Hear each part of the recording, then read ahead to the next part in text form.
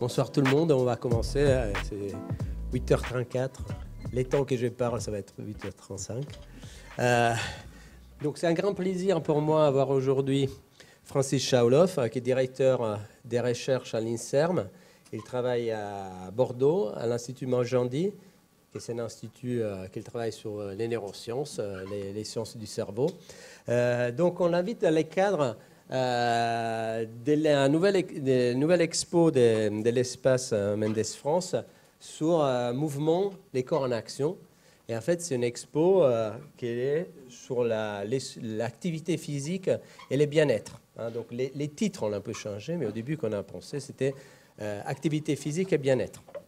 Et c'est une expo que vous allez voir, c'est des 8 mars au 9 mars 2025, donc vous aurez le temps d'aller d'aller euh, la visiter. Donc moi j'étais dans les, comités qui euh, a, pensé à ces, euh, euh, cette expo. Et dans les cadres toujours des expos, il y a des, des séminaires, des, des séances comme ça pour les grands publics. Et on discutait sur des personnes qu'on pouvait inviter. Et moi tout de suite j'avais pensé à euh, Francis parce que depuis des années, il travaille sur l'activité physique et sur les cerveaux, mais pas comme d'autres chercheurs. Donc, si vous avez entendu l'exercice physique et les cerveaux, les bien-être, vous entendez toujours, euh, quand on fait l'exercice physique, on a la libération d'endorphines, hein, qui déjà c'est un peu, euh, hein, pour un scientifique, c'est un peu limité, parce que c'est beaucoup plus compliqué que ça. Il n'y a pas que les endorphines. Mais en fait, la question, c'est que pour faire de l'activité physique et avoir ces endorphines, il faut commencer à faire du sport.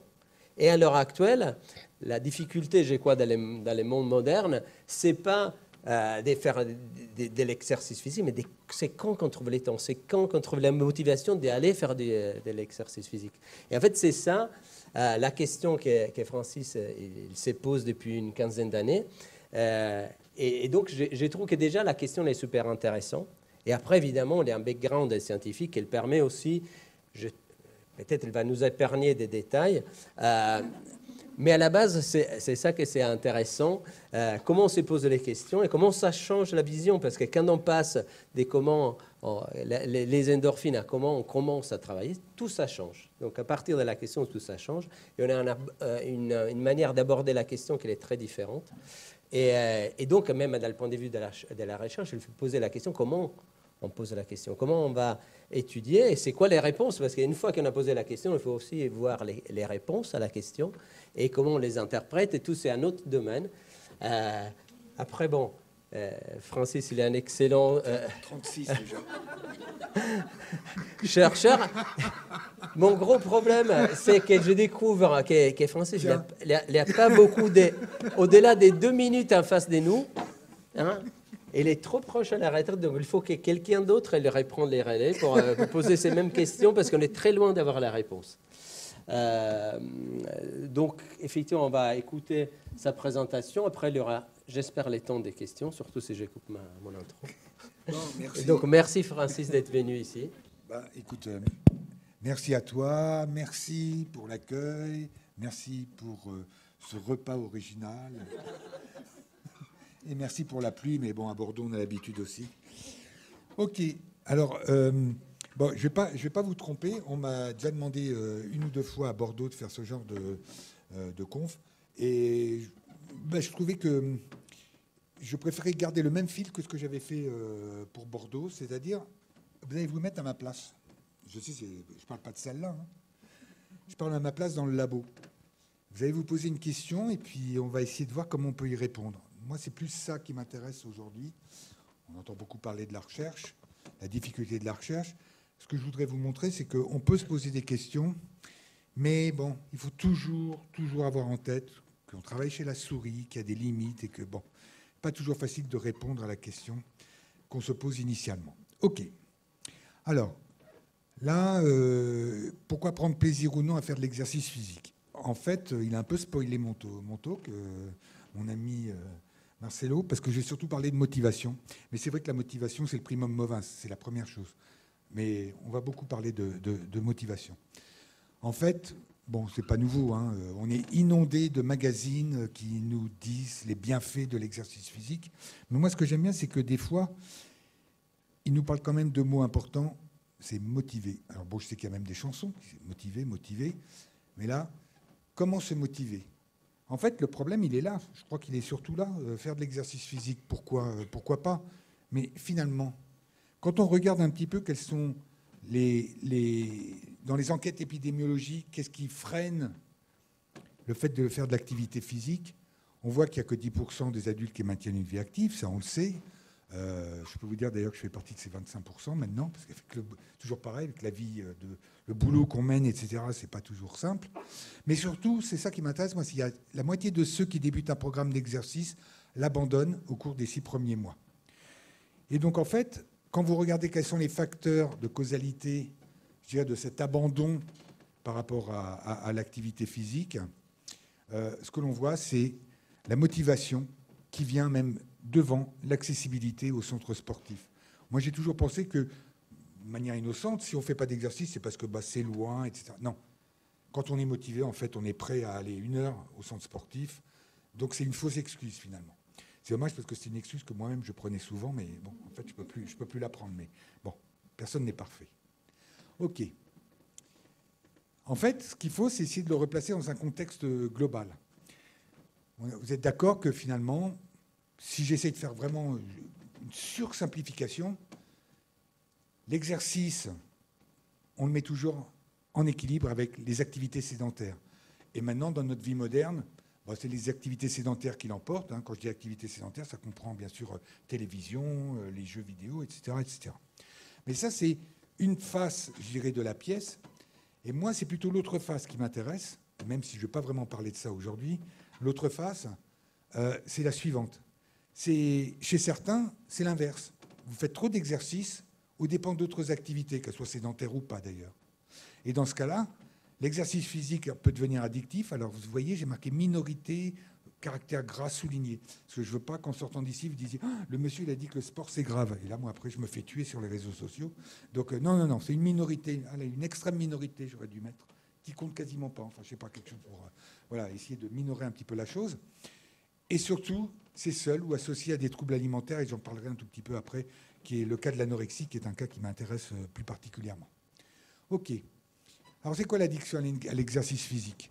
En fait, c'est très intéressant parce que justement, on part toujours de cette idée que l'exercice physique, c'est positif. Et donc en fait, c'est très intéressant. Au début, on a considéré qu'on ne pouvait pas être addict, comme on dit, à l'exercice physique, puisque c'est quelque part une récompense positive. Et en fait, l'une des principales causes de cette addiction à l'exercice physique, c'est son effet anxiolytique. Et d'ailleurs, c'est pour ça que les gens ont du mal à arrêter, parce que finalement, quand vous arrêtez, vous avez toute l'anxiété qui, qui, se remet en place. Et là, finalement, maintenant, elle est enfin reconnue comme étant négative, comme je disais, anxiété, besoin de sa dose d'exercice. Maintenant, dans les manuels de psychiatrie, elle n'est toujours pas reconnue, ça je ne sais pas pourquoi. Vous avez dans le manuel de psychiatrie toutes les addictions aux drogues qui sont bien sûr reconnues, et les seules addictions, entre guillemets, non drogue ou naturelles, entre guillemets, sont les jeux d'argent. Et ce qu'on peut espérer, c'est qu'un jour, ils mettent également euh, l'exercice physique. Et je suis sûr que plus tard, on aura aussi euh, les jeux vidéo, etc. etc. Euh, ça, ça, va venir petit à petit. Pourquoi je dis ça? Parce qu'en fait, quand vous parlez d'addiction, on est à certains critères, et vous apercevez que pour l'exercice physique, vous avez exactement les mêmes critères. Donc, comme je disais, c'est une minorité surtout des disciplines individuelles d'endurance, c'est ce besoin irrépressible compulsif de pratiquer aux dépens d'autres activités. C'est exactement l'une des définitions de l'addiction, aux drogues par exemple. Vous avez l'assouvissement malgré les conséquences négatives, les blessures. Moi, je me rappellerai toujours de cette personne. J'avais été interviewé à, c'est très marrant. J'avais été interviewé à, la télé. dans le cadre de ce reportage, il montrait une dame qui était prête à aller faire un marathon. Elle avait le genou bandé et elle disait cette chose extraordinaire aux journalistes. Elle a dit pourvu que mon médecin ne regarde pas la télé. C'est pour dire. Vous voyez. Donc assouvissement malgré les conséquences négatives. Je ne sais pas si cette dame est toujours vivante ou pas, mais elle était vraiment en, piteux état. Et enfin, et ça c'est beaucoup plus important aussi, c'est vous avez le glissement vers le dopage parce que bah, c'est toujours la même chose. Vous voulez toujours faire de l'exercice, améliorer vos performances, le faire au dépend de la santé, mais sans trop souffrir, donc on se dope. Ok. Ça, c'est le cas de l'addiction à l'exercice physique, euh, je dirais, intrinsèque. Mais vous avez un autre cas qui est celui, comme je disais, qui m'intéresse plus, qui est celui de l'anorexie nerveuse. Donc l'anorexie nerveuse, hein, c'est une pathologie, c'est la pathologie euh, qui est la, plus, la, plus, mortelle, puisqu'on n'a pas du tout de médicaments. Ça touche 3, on a 3 à 5% des anorexiques qui peuvent décéder.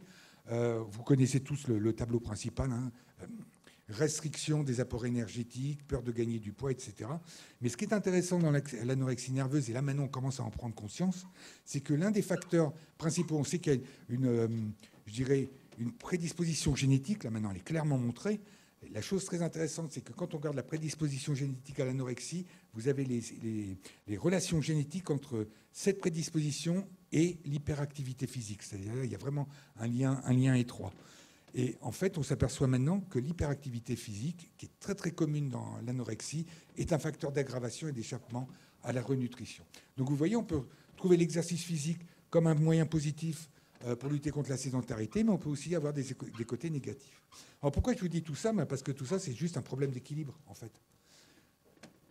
Finalement, c'est un problème de motivation. Dans un cas, je vais diminuer ma motivation pour courir. Dans d'autres cas, je vais au contraire l'augmenter. D'accord Et qu'est-ce que c'est la motivation? Comment est-ce qu'elle se, comment est-ce qu'elle se traduit au niveau cérébral, cette motivation? Ben, En fait, on a bien sûr dans notre cerveau des systèmes qui nous permettent euh, d'appréhender la notion de récompense, que ce soit des récompenses naturelles, ok, mais ça peut être aussi non naturel, comme les addictions au jeu, ou les drogues, puisque les drogues empruntent exactement la même, voie.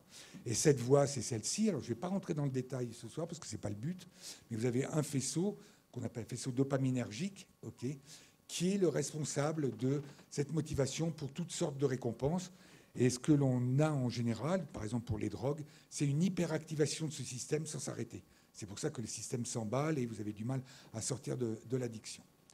Euh, je vais vous donner un exemple et ça sera, je crois, le seul exemple vraiment de, un petit peu compliqué euh, ce soir, mais c'est pour vous donner vraiment, vous illustrer ce que, le rôle de la dopamine. Alors ça, c'est des, expériences qui ont été faites chez le singe il y a très très très longtemps. Mais c'est juste pour montrer comment cette fameuse dopamine, elle est importante. En fait, ce que vous avez ici sont des singes, ok, et ils ont enregistré l'activité électrique de ces neurones-là. Donc les neurones sont des fibres euh, nerveuses, des cellules nerveuses, euh, qui ont une activité électrique. et quand vous donnez une récompense, en l'occurrence pour euh, ces singes, c'était un jus de fruits, vous voyez, toc, l'activité, elle monte. Alors maintenant, imaginez que le singe, ce que je fais, c'est je lui apprends qu'avant de recevoir sa récompense, il va y avoir un petit signal qui va le prévenir qu'il y aura la récompense. Et bien, au début, qu'est-ce qui se passe? Il va répondre à ce signal, et comme il anticipe qu'il y aura la récompense, ben voilà ça. Maintenant, ce qui est très drôle, c'est qu'est-ce qui se passe si je monte le petit signal, mais que je ne donne pas la récompense? Bah, J'ai toujours l'augmentation. Mais regardez ici, hop, il y a un trou. C'est-à-dire que l'activité, elle a diminué. Donc en fait, on a vraiment, je dirais, un parallèle entre cette activité électrique et ce qui se passe au niveau du comportement et au niveau de ce qu'on espère de, la récompense. Et donc pour vous montrer comme ça comment euh, l'activité électrique des neurones peut euh, être sous-jacente à un comportement. Alors la chance qu'on a quand on travaille chez la souris ou chez le rat, c'est que ce fameux système, eh ben, on a exactement le même chez la souris et le rat. Exactement le même. Et bien sûr la souris et les rats. Mais finalement, ils ont leur propre récompense, qu'elle soit naturelle ou pas. Mais euh, il suffit de demander à mon collègue. Euh, ils aiment aussi euh, les drogues. Ils peuvent s'auto-administrer des drogues. donc on a vraiment le moyen de regarder un petit peu qu'est-ce qui se passe. Et en fait, les choses avancent tellement, tellement bien maintenant depuis des années qu'on commence à connaître les cibles de ces différentes drogues. Donc vous avez toujours ce système dopaminergique, donc ces neurones-là, et vous avez d'autres cellules qui viennent les connecter. On ne va pas rentrer non plus là dans le détail, ça n'a pas d'importance. Mais ce que vous voyez, c'est que vous reconnaissez ici différentes drogues dont on connaît le nom, cocaïne, amphétamine. Vous voyez qu'elles agissent directement sur ces neurones, la nicotine aussi. Puis vous avez d'autres drogues qui agissent indirectement en régulant, euh, je, je, dirais, le message entre ces cellules, allez, on va dire la cellule verte et la dopamine. Et c'est le cas des benzodiazépines, des cannabinoïdes, etc. Et ceci vous explique pourquoi on peut être aussi addict aux benzodiazépines. Hein, ça, c'est un, des problèmes récurrents qu'on a euh, quand on traite les personnes avec des, anxiolytiques. OK. Mais tout ça, c'est les drogues. Et la question qu'on peut se poser, c'est oui, mais l'exercice là-dedans, ça agit comment? Bah, A priori, ça devrait agir sur le même système. Mais la chose étonnante, c'est qu'on n'a jamais mis en évidence cette relation entre exercice et système de récompense. C'est important parce que si on arrive à mettre en avant cette relation entre exercice et système de récompense, boum, ça y est, on comprend pourquoi on peut avoir une addiction, etc. etc. Mais avant de parler de ces choses-là, il faut d'abord établir ce lien. Alors là, maintenant, vous êtes à ma place, vous êtes dans le labo, et puis vous dites, euh, oui, c'est bien, mais euh, qu'est-ce qu'on va prendre comme modèle? Alors, euh, finalement, quand on réfléchit, bah, il n'y en a pas beaucoup des modèles. La chose, oui, j'ai oublié, la chose importante, c'est la définition de l'exercice physique. Parce que les gens, beaucoup de gens ne font pas la différence. Selon l'OMS, l'exercice physique, ce n'est pas de l'activité physique. Quand vous êtes venu ici pour m'écouter, je ne sais pas si vous avez bien fait d'ailleurs, on verra plus tard, vous avez fait de l'activité physique. L'exercice physique, là, c'est si vous aviez peur d'être en retard et qu'en plus vous étiez obligé de courir. Là, je ne sais pas si vous aviez vraiment bien fait de venir. Mais là, c'est un autre problème, surtout sous la pluie. Mais vous voyez, on a quand même une, distinction. Hein. C'est un mouvement, alors que là, c'est un mouvement planifié, structuré. Donc là, on va parler d'exercice physique. Alors cette distinction, elle est déjà importante pour nous qui travaillons sur la souris ou le rat, parce qu'il suffirait que je mette une souris, allez, on va dire, je bâtis un petit couloir, je mets la souris, puis je regarde comment elle, se balade, et je vais croire que je travaille sur l'exercice physique. Non, je vais travailler sur l'activité physique. Donc il faut que j'ai le moyen de travailler sur l'exercice physique chez la souris. Et des modèles, il n'y en a pas 3000. Hein. Il y en a trois. Et puis vous dites, ben ok, finalement, lequel je vais choisir? Et puis vous commencez à réfléchir et vous dites OK. Donc lui, c'est pas mal le tapis roulant. Bah, D'ailleurs, quand vous allez dans les salles de gym, vous voyez des hommes, enfin des hommes ou des femmes, euh, qui, sont sur des tapis roulants. Ouais, enfin le seul problème, c'est que ce tapis roulant, euh, le rat, il veut pas toujours y aller. Donc pour, qu'il y aille, on lui donne un petit choc électrique. Alors je vous rassure, c'est pas le truc douloureux, hein. c'est le truc qui gêne. C'est pour ça d'ailleurs que beaucoup de gens maintenant, ce qu'ils font, c'est au lieu de ce système, ils ont une espèce de, petit pistolet à air comprimé, ça balance juste de l'air, parce que les, rats ont horreur qu'on leur balance de l'air. Donc, ce n'est pas du tout douloureux, mais ils n'aiment pas. Donc, euh, bon. Mais ça veut dire que déjà, là, on commence à rentrer déjà dans une distinction, c'est que finalement, ce rat, quand il fait cet exercice, ce n'est pas vraiment une récompense, c'est plutôt pour éviter un danger. Bah, si c'est pour éviter un danger, moi, quand je fais de l'exercice physique pour éviter un danger, c'est quand je fuis un danger. Ce n'est pas tout à fait la même chose, ce n'est pas très positif. Donc, ça m'intéresse pas. La nage, bah ça c'est intéressant. Mais euh, on n'a pas tous l'occasion d'aller dans les égouts, mais quand on regarde les reportages, je ne sais pas si vous avez vu, dans les égouts, on voit toujours des rats, on voit jamais de souris. C'est pas pour rien, c'est parce que les souris, elles n'aiment pas nager.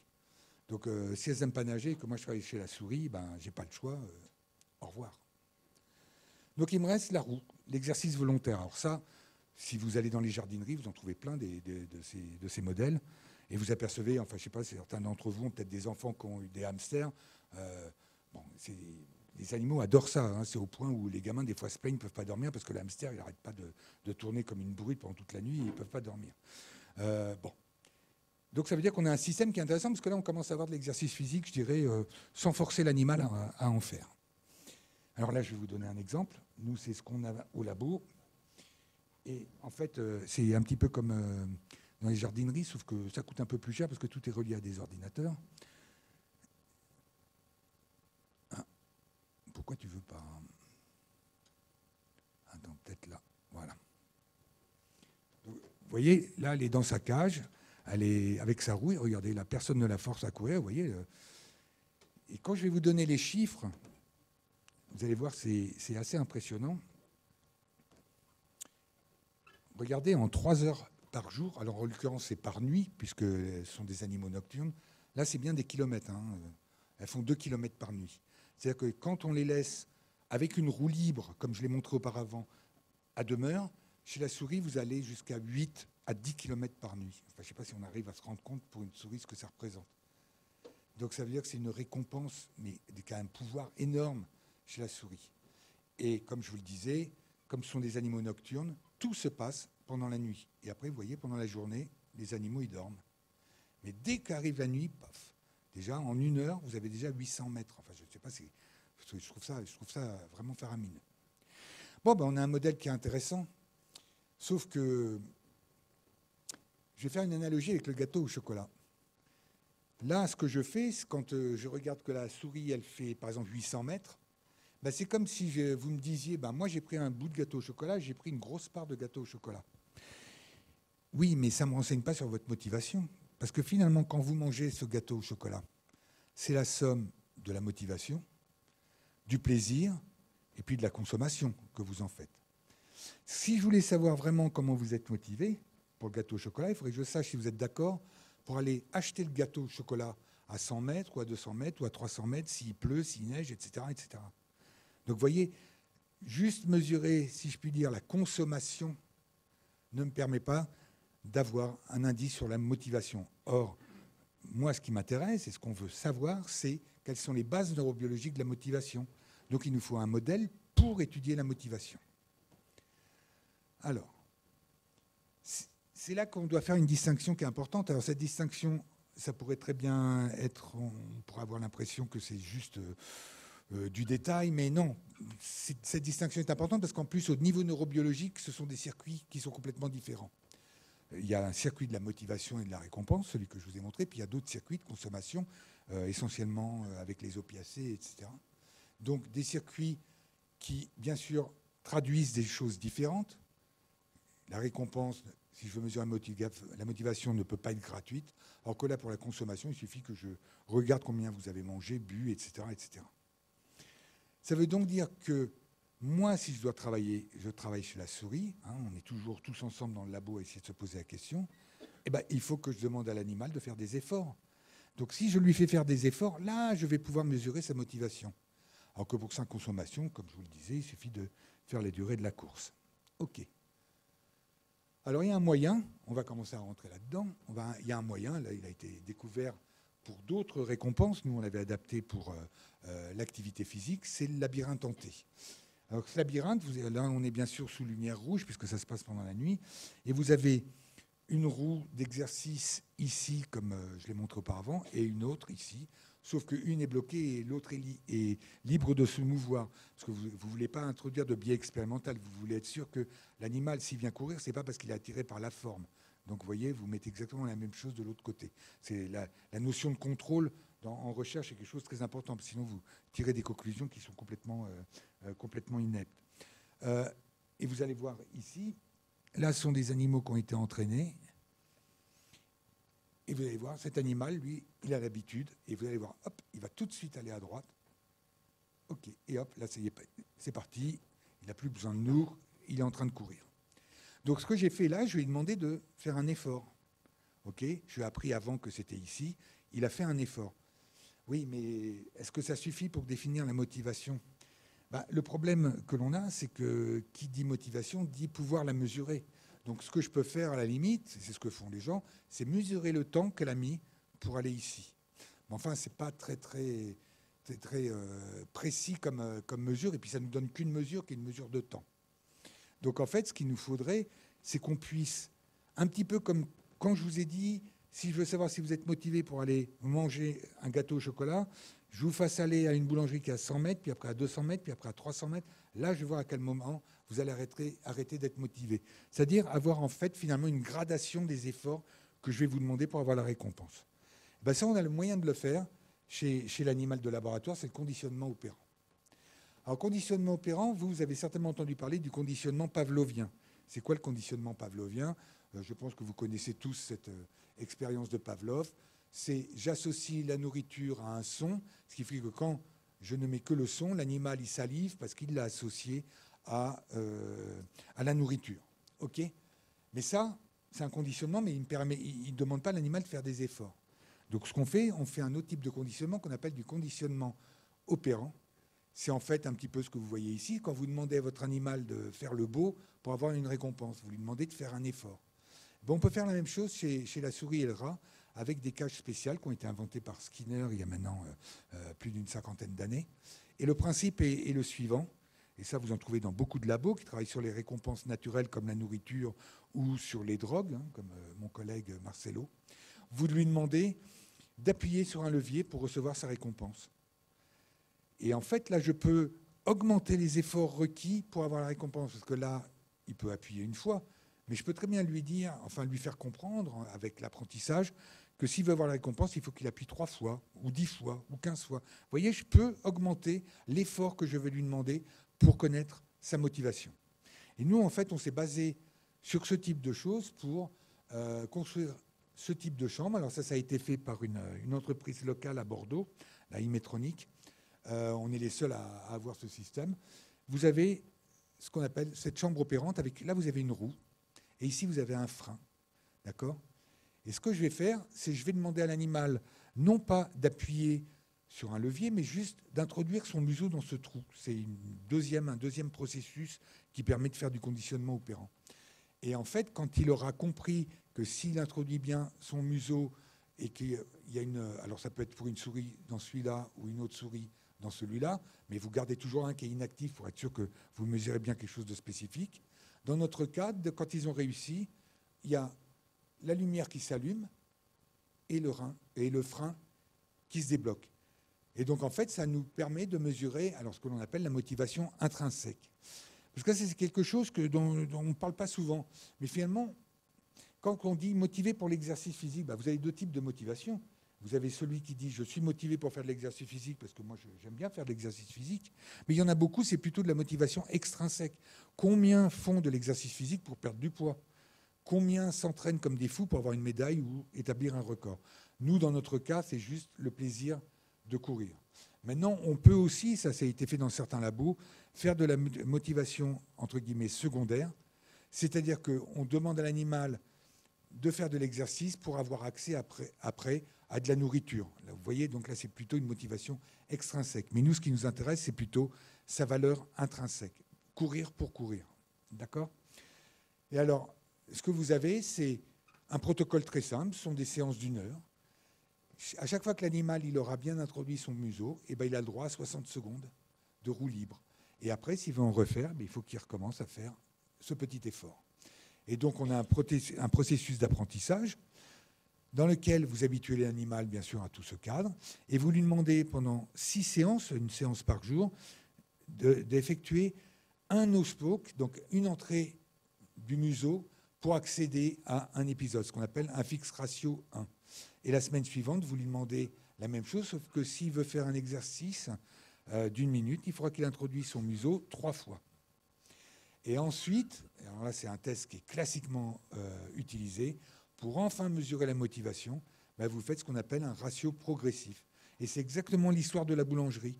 C'est, je vais lui demander à chaque fois d'aller, euh, dans votre cas, ça serait d'aller de plus en plus loin pour aller à la boulangerie. Là, je vais lui demander la première fois lors de cette séance d'une heure de mettre son museau trois fois. Mais la deuxième fois qu'il voudra le faire, il faudra qu'il le fasse six fois.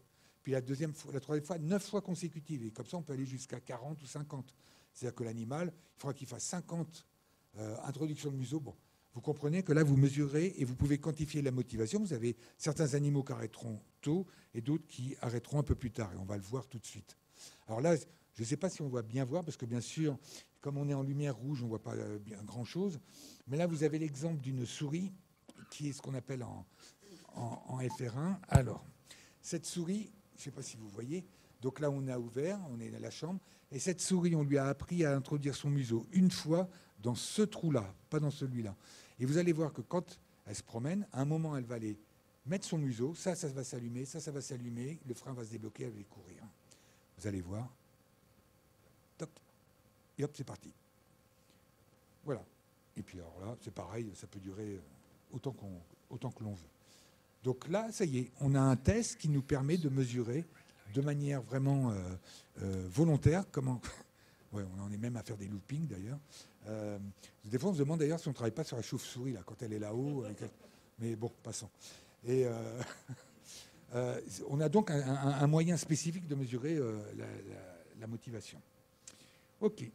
Alors là maintenant, vous êtes à ma place, vous êtes dans le labo et voilà ce que ça donne ça donne ceci. C'est-à-dire qu'en fait, quand vous faites chaque session, vous faites ça, vous voyez que l'animal, sur une heure, il fait à peu près 30 épisodes de ces introductions de museau. Donc 30, plus vous rajoutez le temps d'y aller, plus une minute de course, bah, il occupe une bonne partie de son temps. Quand vous augmentez et vous lui demandez de le faire trois fois, bon, bah là, bien sûr, que vous n'arrivez pas à 90, parce que là, ça prend un peu plus de temps. Mais néanmoins, vous voyez que l'animal, il est d'accord. Et en fait, c'est assez stable. Et quand en fait, enfin vous faites votre session de PR, mais vous apercevez ici que les animaux peuvent faire au total jusqu'à 200, et vous avez des animaux qui sont très peu motivés, ils vont s'arrêter au bout de 5, d'autres, ceux-là, ça veut dire qu'ils ont été à peu près en moyenne jusqu'à 40 successifs. Donc vous voyez, là, vous pouvez mesurer la motivation de l'animal. Mais ce que je trouve, moi, extraordinaire avec ce genre d'expérience, c'est ça. Parce que ça, ce qu'on a mesuré, c'est... Alors, je vais essayer d'aller doucement. C'est un petit peu comme si je vous demandais d'aller à la boulangerie et qu'elle est à 100 mètres, 300 mètres, 800 mètres, 1200 mètres, etc. Combien est-ce que vous mangeriez de gâteau une fois que vous arrivez? Ben, C'est exactement ça. Vous apercevez qu'ils mangent exactement la même part de gâteau. C'est-à-dire que ceux qui sont très peu motivés, quand ils l'ont été, même si c'est faiblement, ils ont couru 45 secondes par minute. Ceux qui étaient très très motivés, ben ça n'a pas changé, 45. Et vous voyez donc que là, on a une différence entre motivation et consommation. Et donc, c'est pour ça que j'insiste vraiment, le plaisir ou la consommation de la récompense, que ce soit le gâteau, la course ou ce que vous voulez, c'est différent de la motivation. Bon. Alors maintenant, ce qu'on voit, ce qu'on avait montré, alors je vais essayer de, on va faire un petit peu de neurobiologie, mais je vous rassure, ça va durer exactement 12 secondes.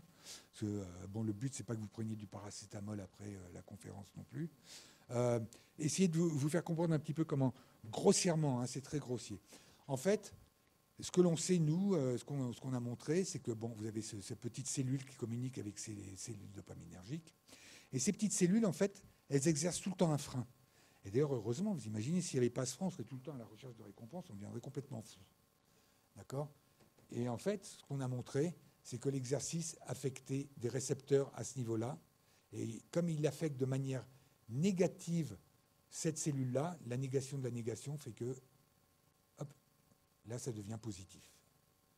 Donc vous avez une augmentation de la motivation pour courir. Si vous n'avez pas ces fameux récepteurs, on va voir ça après, eh ben, les animaux ne sont pas du tout motivés pour courir, je vous montrerai un exemple. C'est la motivation pour l'activité physique. Alors, là, je vais juste donner un exemple euh, aussi pour vous euh, montrer comment euh, ce qu'on peut faire chez la souris, des fois, c'est incroyable. On peut vraiment mimer certaines situations humaines. Donc, ce que je vous ai montré, c'est quand les animaux font ce travail-là de nos spoke. Ce qu'on peut faire aussi, et nous on l'a fait pour l'exercice physique, mais ça se fait aussi pour euh, les drogues, vous pouvez demander à, Marcelo, puisqu'il emploie le même genre de, système, c'est ce qu'on appelle de l'extinction. Alors je m'explique.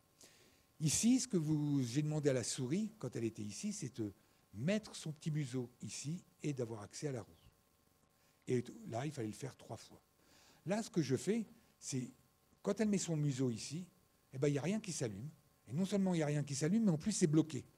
Donc la souris, qui n'est pas idiote, elle commence très haut, ça c'est génial, parce que vous voyez qu'ici, elle était à 60. La première fois que j'ai fait ça, elle est montée à 120. C'est-à-dire que la souris, elle travaille comme une folle. Elle dit, mais où, est ma récompense Où est ma récompense?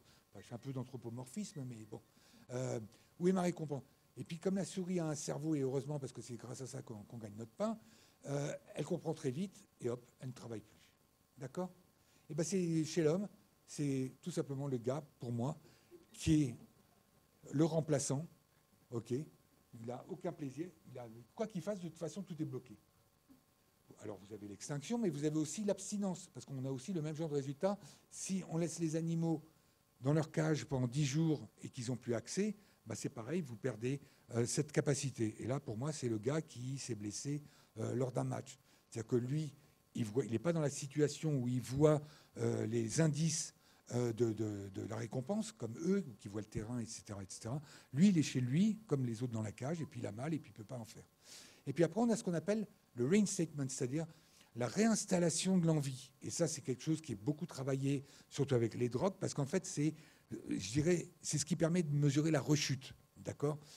Et là, ce que vous voyez ici, ce qu'on fait, c'est on donne accès à la souris de nouveau au nospoke. Et là, quand il en fait 1, puis 3, 3, ça s'allume. Mais le problème, c'est que c'est toujours bloqué.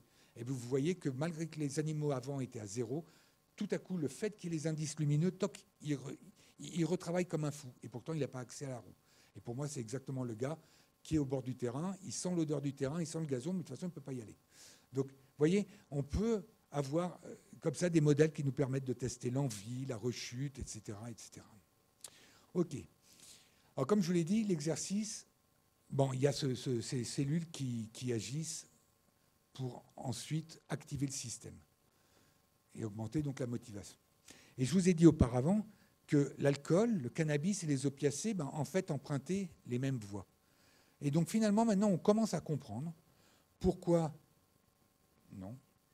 Pourquoi les drogues peuvent servir de palliatif au sevrage du sport Donc moi, j'étais en contact il y a quelques années avec un service à Bordeaux qui était d'abord euh, fait par l'ancien euh, rugbyman là, Simon, où en fait il recueillait des, gens qui étaient addicts à l'activité physique et qui avaient des, problèmes psy et beaucoup en fait compensaient l'arrêt du sport. Alors vous aviez deux types d'arrêts. Vous avez le gars qui est un énorme sportif et qui, part, qui après est en retraite sportive, donc euh, dans certains sports ça est déjà à 30 ans par exemple, ou vous avez le sportif euh, vraiment endurant et qui se blesse et qui peut plus faire de sport.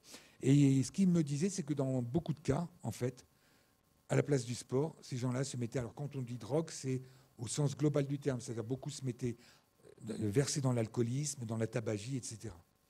Et inversement, ce qui est vraiment proposé maintenant, c'est que finalement, si les drogues et l'exercice prennent la même voie de la récompense, est-ce qu'on pourrait pas servir du sport comme palliatif au sevrage de drogue? Et en fait, beaucoup de gens ont commencé à travailler là-dessus. Et là, je vous donne, pas besoin de lire parce que ça a très peu, très peu d'intérêt, mais juste pour vous montrer que dans le cas du tabac et aussi de, l'alcool, il y a des, travaux qui commencent à montrer maintenant qu'on peut diminuer la rechute pour euh, ces drogues, euh, enfin pour ces drogues, pour le tabac et pour l'alcool, euh, avec l'activité physique. Et là, j'ai un exemple local, n'est-ce pas? Oui, puisque là, mon, collègue avait publié, Marcelo avait publié un article dans lequel il avait comparé avec son équipe des animaux qui étaient isolés ou qui étaient en environnement enrichi. Vous voyez qu'ici, il y a une roue d'exercice. Et il avait regardé leur préférence pour la cocaïne. Et ce que vous voyez, c'est que les animaux qui sont en environnement enrichi, mais surtout qui peuvent faire de l'exercice physique, eh ben, la préférence pour la cocaïne, elle diminuait grâce à cet environnement enrichi. Et si on regardait une autre variable qui est l'envie, avec un autre type de test, ben, vous voyez aussi que l'envie, elle peut être diminué. Alors c'est sûr que l'environnement enrichi globalement a un effet, mais au niveau neurobiologique, ce qui a été montré, par exemple, on sait que l'exercice physique et l'environnement enrichi vous permettent euh, d'augmenter votre la, neurogenèse, alors donc la, la, prolifération des cellules dans une région de l'hippocampe. Euh, il a été montré que ces effets de l'environnement enrichi étaient uniquement dus à l'activité physique. Donc il y a de fortes chances pour que dans ce cas-là, soit vraiment l'activité physique qui ait eu ces effets positifs euh, dans, cette expérience. OK. Donc, pour résumer, finalement, on a cette balance exercice, activité sédentaire, et puis le tout, c'est de comprendre la motivation pour l'un ou pour l'autre. Bon. Alors ça, c'est bien, mais euh, c'est un peu simplé quand même. Parce que c'est quoi les activités sédentaires? Finalement, quand on réfléchit, les activités sédentaires, ben, il y en a quand même une qui a vraiment un impact physiologique énorme. C'est la prise de nourriture. En fait, dans beaucoup de cas, c'est le conflit entre exercice et prise de nourriture qui est à la base de la pathologie. Donc là, par exemple, dans le cas de l'obésité, vous avez une motivation pour l'exercice qui est diminuée alors que pour la prise de nourriture, elle est augmentée. Alors que dans le cas de l'anorexie, c'est clairement l'inverse. La prise de nourriture, vous n'avez pas de motivation pour manger, d'où le problème d'ailleurs de mortalité, puisque les, jeunes adolescentes, c'est surtout elles que ça touche, peuvent avoir des problèmes de, euh, de poids à cause de cette absence de nourriture, mais c'est renforcé en plus par le fait qu'elles désirent absolument faire beaucoup d'exercices, ce qui fait que là, tout contribue à ce qu'elles deviennent maigres et qu'elles n'accumulent pas d'énergie. Ça, c'est la première chose. Donc, finalement, Peut-être qu'il ne faut pas regarder l'exercice physique par rapport à des activités sédentaires, juste la motivation pour l'exercice physique tout seul. C'est peut-être qu'il faut l'examiner en tant que facteur de choix. Et c'est ça qui nous a intéressés. Et en fait, cette petite chambre opérante que je vous ai montrée, en fait, dès le début, on l'a designée de façon beaucoup plus complexe. C'est-à-dire que ce qu'on a fait, on a aussi la possibilité, quand vous enlevez cette paroi, de faire exactement le même principe. Les animaux doivent faire des introductions de museau pour aller chercher de la nourriture. À chaque fois qu'ils appuient, pardon, qu'ils mettent le museau, ils reçoivent 60 mg, c'est des petites, euh, des petites pastilles euh, de nourriture, ils reçoivent 60 mg de nourriture. Donc ici, vous voyez, comme je vous l'ai montré auparavant, ce qui se passe quand c'est l'activité physique. Vous voyez ici ce qui se passe quand c'est de la nourriture. Alors ici, les scores sont très hauts, c'est normal. C'est ce qu'on leur proposait comme nourriture, c'est une, une nourriture à base de chocolat. Très palatable, ils adorent ça. Et vous voyez d'ailleurs que là, il n'y a pas photo, vous arrivez à 150, alors que pour l'activité physique, vous arrivez à 70. Quoi. Mais je vous ai parlé de choix. Et donc, en fait, ce qu'on a fait, c'est on a commencé à faire des expériences justement de choix, où les animaux, ils avaient le choix entre l'exercice et la nourriture. Alors, quand je dis le choix, c'est vraiment le mot choix dans sa réelle définition, c'est-à-dire que c'est un choix exclusif. Si pendant une minute, je fais de l'exercice et qu'au bout de 20 secondes, je sors pour aller euh, travailler pour avoir de la nourriture, ça ne marchera pas. Il faut attendre d'avoir passé la minute pour avoir le droit de rechoisir entre les deux. Donc c'est vraiment un choix exclusif. Un peu comme chez l'homme. Euh, c'est rare que vous euh, vous mettiez à courir tout en mangeant ou vous mangez tout en courant. Enfin bon, bref, faites l'un ou l'autre. OK? Et là, ce que l'on voit quand on leur, donne le choix, là, c'est les animaux qui sont nourris. Vous voyez que finalement, ils aiment bien l'exercice. Et dès que vous privez de nourriture pendant une nuit les animaux, ben, ils travaillent pour manger et ils travaillent beaucoup moins pour courir. Donc vous voyez, on a vraiment cette possibilité de regarder le, choix. Donc ça, c'est des choses aussi sur lesquelles on a travaillé. Et là, je vais vous montrer, euh, avant de passer un petit peu à la neurobiologie, comment on peut encore affiner ce modèle. Donc vous voyez que petit à petit, euh, de, manière graduelle, on a affiné les modèles. On va encore essayer de l'affiner en prenant en compte des limites. Toujours prendre en compte les limites de nos modèles. La première limite, c'est celle-là.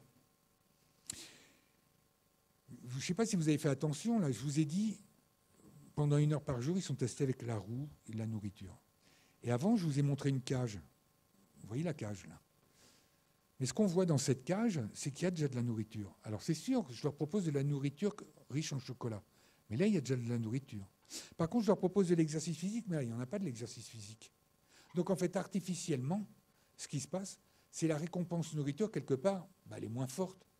Alors que la récompense roue, puisqu'ils ne peuvent, euh, je dirais, en profiter que pendant cette session, je vais artificiellement augmenter la valeur de cette récompense. Donc finalement, nos résultats peuvent être biaisés. C'est peut-être pour ça que nos animaux ils préfèrent courir que manger.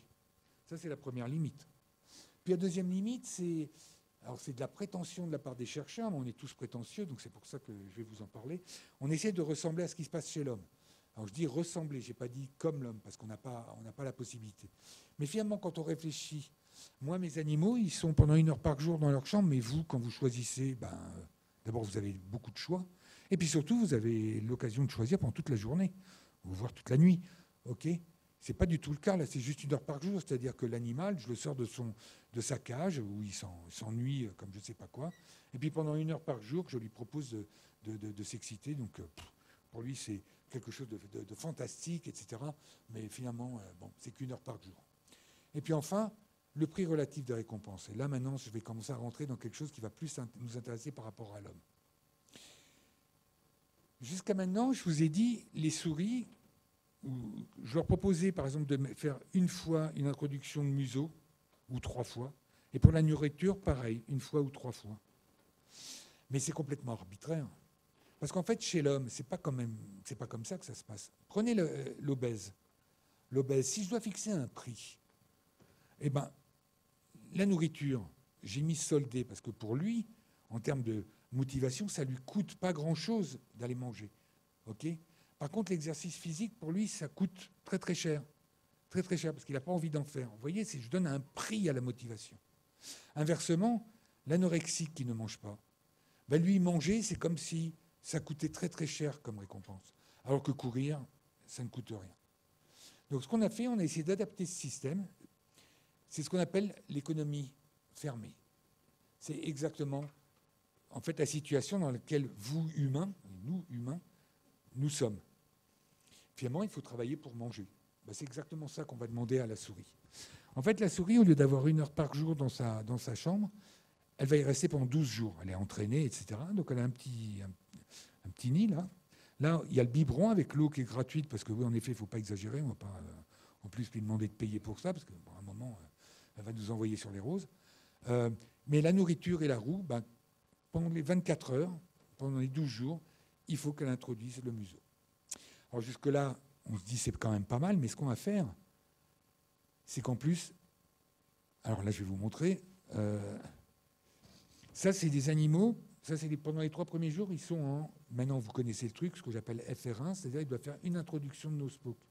Alors bien sûr, le film est coupé, hein, parce que là vous voyez, toc, elle va faire ça, toc, tout s'allume, elle va, aller. Moi, j'aime bien quand ils prennent un petit truc pour manger, comme ça, ils sont trop mimi.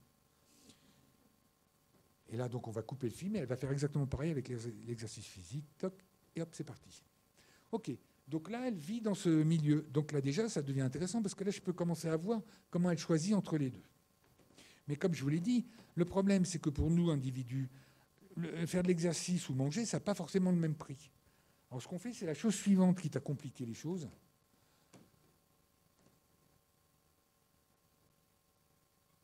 Euh, il me manque un truc là. Ah oui, j'étais un peu vite, c'est ça. En fait, ce que vous voyez là, c'est que pendant trois jours, il faut qu'elle introduise une fois son museau pour avoir 60 mg ou pour courir une fois. Mais tous les trois jours, ça change.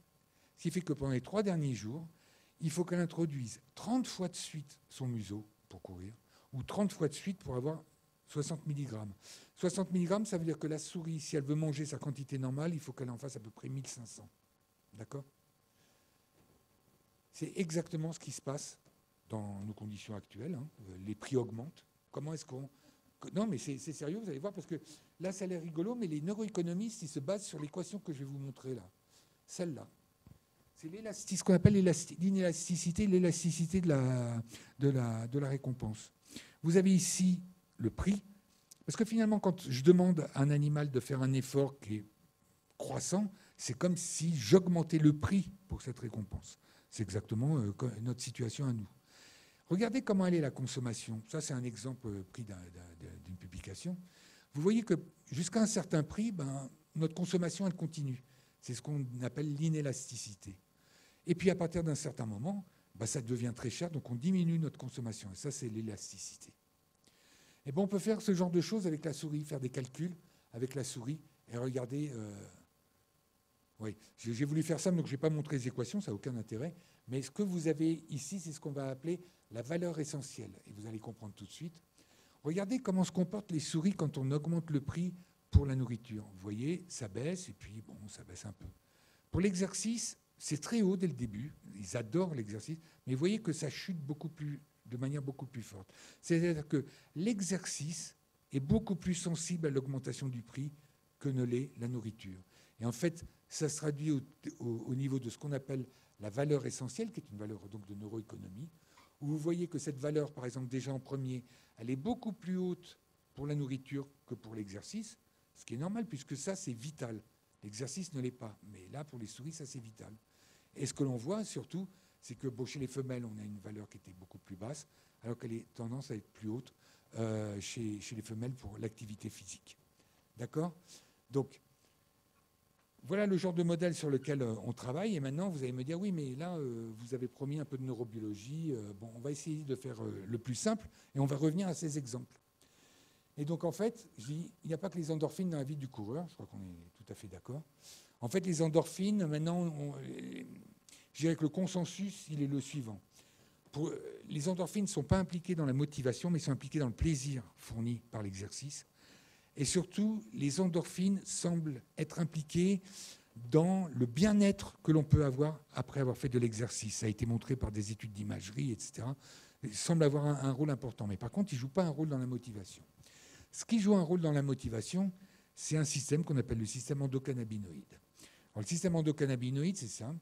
C'est un système, euh, bon, ce sont des neurones, vous avez des neurones avec ce qu'on appelle des récepteurs, euh, donc sur lesquels viennent des molécules. Bon, pas rentrer dans le détail. Et je ne vais pas non plus rentrer dans le détail sur comment marche ce, système.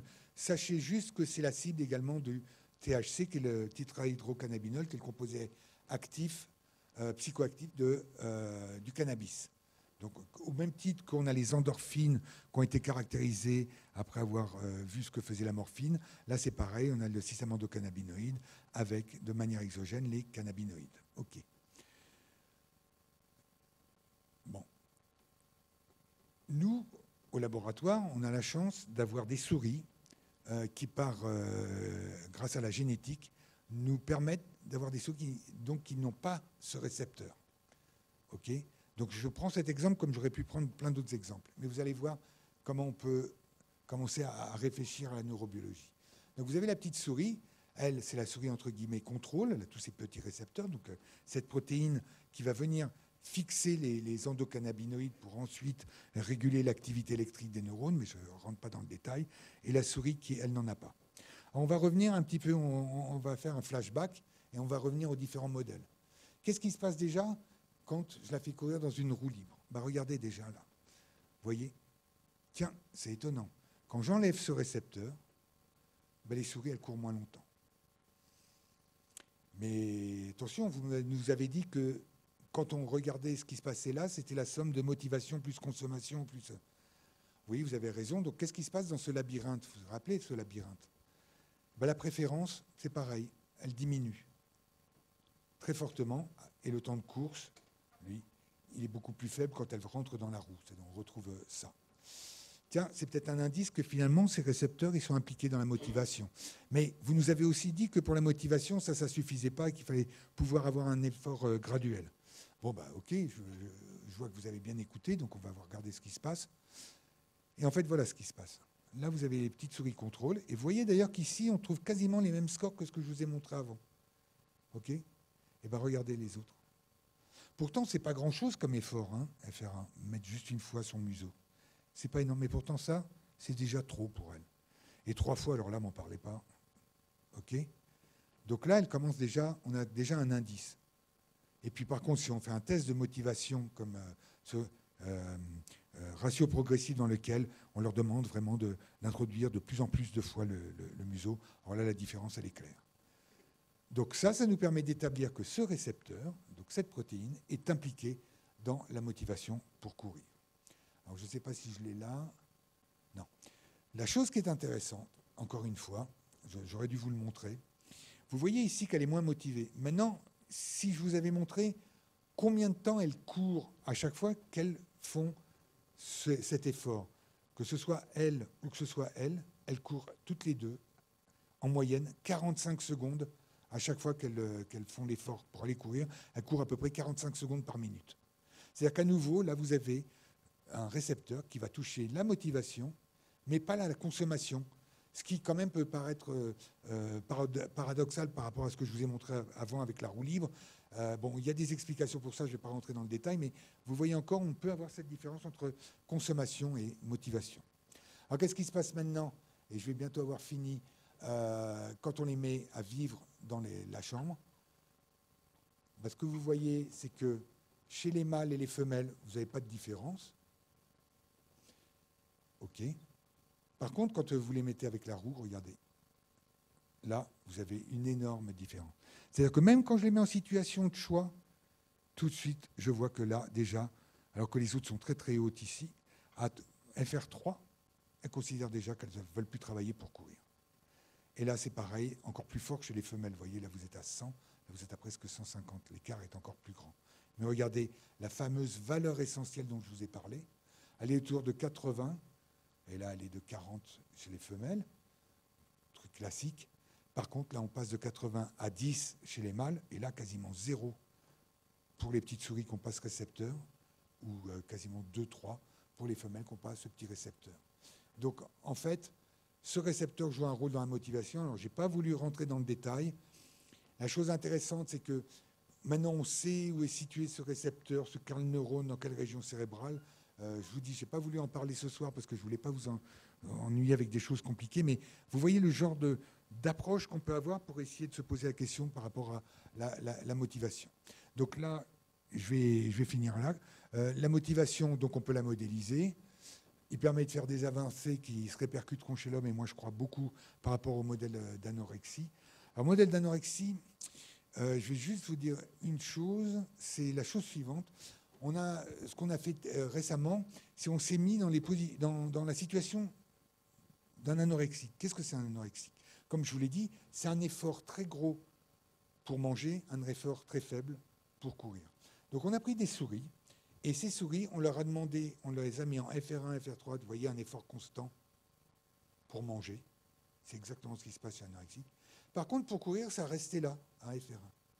Et bien quand vous faites ça, on a une lignée de souris alors que toutes les souris, très rapidement, elles descendent parce qu'elles préfèrent prendre des efforts pour manger.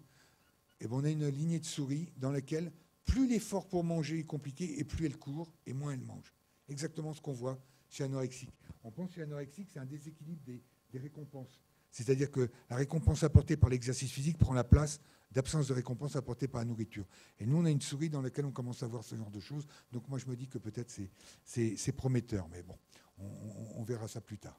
Donc pour en revenir là, un modèle reste un modèle. Hein, et enfin, la dernière question qu'il faut se poser, c'est est-ce qu'on peut modéliser l'addiction à l'exercice physique? Alors moi, je vous ai dit que oui, mais maintenant, c'est quand même plus compliqué que, ce qu'on croit. Vous pouvez demander à mon collègue.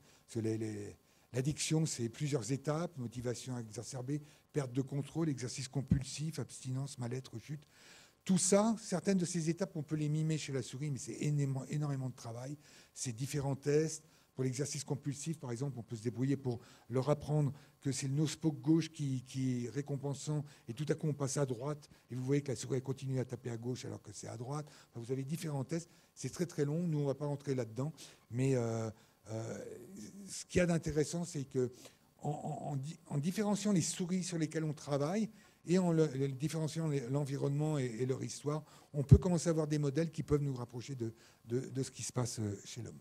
Alors, Bon, ce travail, il a été fait à l'Institut Magendie, hein, comme le disait euh, Marcelo. Moi, je suis directeur de recherche à, l'Institut François Magendie à Bordeaux. Je suis dans une équipe qui s'intéresse aux endocannabinoïdes, euh, qui est euh, menée par Giovanni Mersicano. le travail que je vous ai montré, bon, même si j'y participe parce que j'adore toujours travailler avec les souris, c'est quand même le travail de beaucoup d'étudiants.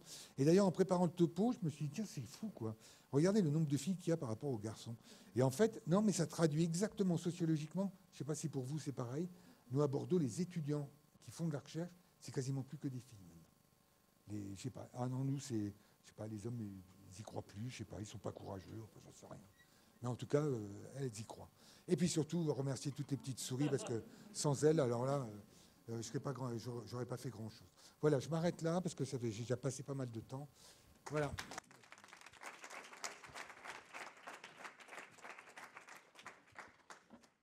merci à Francis pour ces coffres qui me parlent beaucoup, pour beaucoup de raisons. Un, c'est qu'effectivement, même la partie euh, initiale me fait penser que j'ai une petite addiction au sport. Après, ma balance euh, avec la nourriture, elle est, un peu plus balancée. Je crois que j'aurai les deux addictions. Mais tous les symptômes. Donc, s'il y a des questions dans la salle, oui. Merci, merci pour votre exposé, fort intéressant. Euh, je, m'arrête sur euh, la reproduction de la balance. Euh, j'ai vu qu'il y avait une inversion entre l'exercice et la sédentarité. Et je ne peux pas m'empêcher de faire le rapprochement avec la durée de vie. C'est-à-dire qu'auparavant, nos ancêtres, nos ancêtres, nos anciens, avaient la possibilité de faire beaucoup d'exercices, par leur profession par exemple, et euh, ils mourraient plus jeunes. Et aujourd'hui, bien que vous mettez en avant la sédentarité, on vit plus longtemps. Oui, mais parmi ceux qui vivent plus longtemps, on est tous d'accord pour dire que ceux qui sont stressés, ceux qui passent par exemple leur temps à leur bureau, ça, ça a été montré, ont plus de chances de développer un infarct, par exemple. Ça, ça a été montré. Donc, même si l'expérience de vie a augmenté, on sait quand même que. En fait, c'est compliqué parce qu'en plus, euh, nos ancêtres ne mangeaient pas la même chose, etc. Donc, euh, vous avez plus de cancer maintenant qu'il y en avait avant. Euh, la pollution est pas pareil. Donc, c'est difficile. Mais même si maintenant on vit plus longtemps grâce au progrès de la médecine, parce que grâce aux connaissances de la biologie, etc. Au sein de cette population, on sait qu'il y a une catégorie de personnes qui est plus à même de mourir plus jeune que ce que l'on attend à l'âge respectif selon la courbe de Gauss, si elle est complètement sédentaire, si elle est dans son bureau. En plus, vous parliez d'activité, c'est très intéressant parce que, en effet, c'est une activité physique qu'il faisait. Maintenant, ce qu'on propose aux gens, plutôt, c'est une activité surtout intellectuelle, mais qui est surtout aussi associée à du stress. Le gars qui est dans son bureau et qui a son chef qui lui gueule dessus parce qu'il faut absolument avoir du rendement, ben, je peux vous dire que ça, ça ne contribue pas à avoir une espérance de vie très élevée. Donc, en fait, vous pouvez avoir une hyperactivité intellectuelle. Moi, je dirais que c'est la différence entre activité physique et, exercice physique, en fait. Vous voyez? Donc, euh, je suis d'accord avec vous, mais euh, je pense qu'au sein de cette population, il y a quand même des, cas où euh, la sédentarité va, vraiment faire exploser le système. Quoi. Merci. Ah, de rien.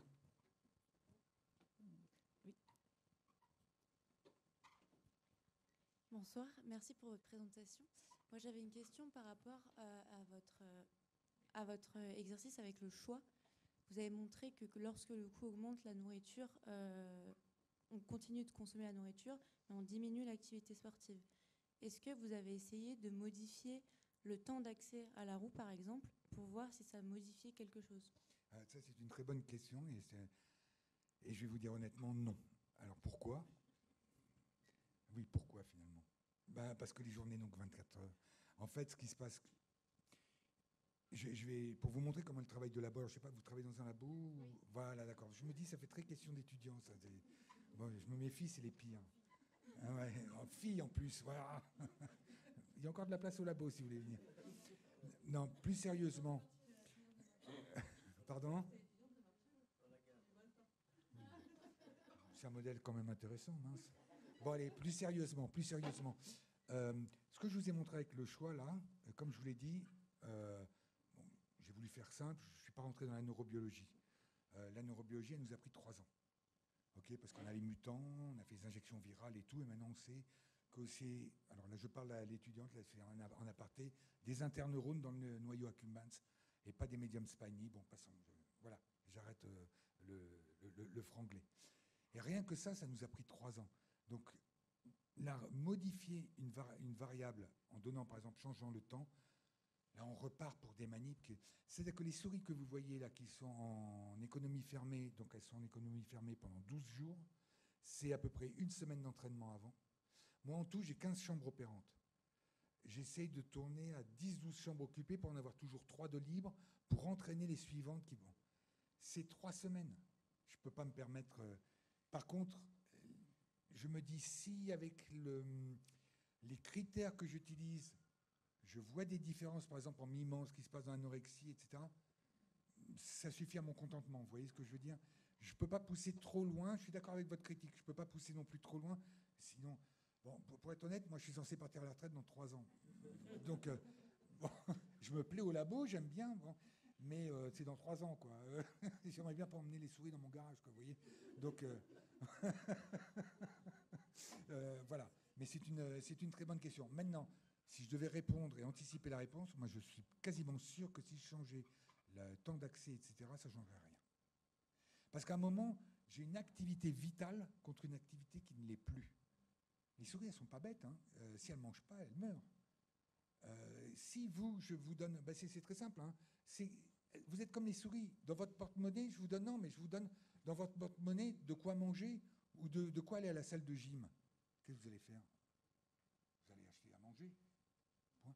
Nous, ce qui nous intéresse, c'est qu'est-ce qui se passe? Comment peut-on modéliser la personne qui, elle, est prête à donner de l'argent pour aller faire l'exercice physique au dépens de manger? Qui est un comportement qui est antiphysiologique. Mais avant d'établir ça, il faut déjà qu'on comprenne ce qui se passe physiologiquement. Merci pour la question. Bonsoir. Vous parliez d'un effet sexe. Est-ce qu'il est significatif? Oui. Euh, il est. Ça, c'est vrai, mais d'ailleurs, c'est vrai aussi pour. Euh, je ne sais pas si sur, pour certaines drogues, je crois que ça l'est aussi. Nous, pour l'activité physique, on voit toujours.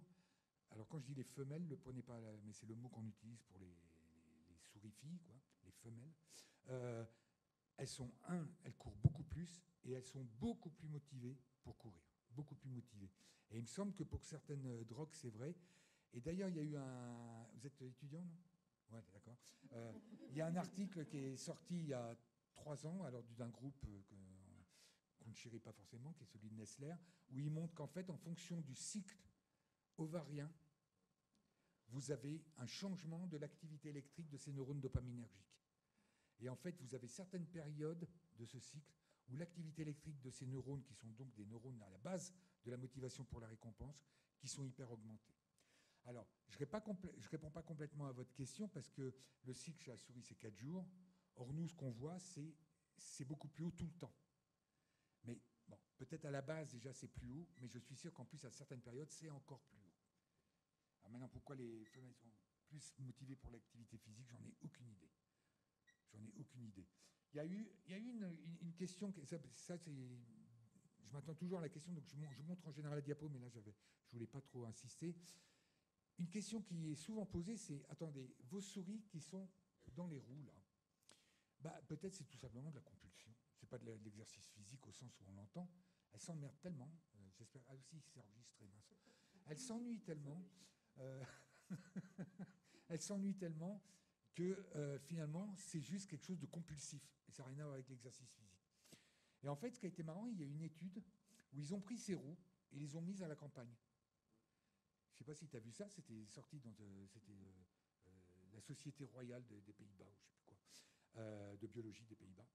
Et en fait, le truc qui est marrant, c'est que vous aviez des souris de la nature qui ont essayé la roue et qui ont commencé à jouer.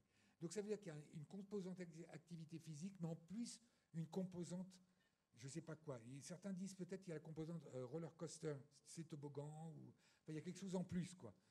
Mais ça n'a pas d'importance parce qu'in fine, ce que vous voyez quand la souris a couru, c'est qu'elle a développé toute la physiologie du coureur que vous retrouvez, euh, du coureur homme, euh, au niveau insuline, glucose, etc. Donc physiologiquement, vous mimez le même état.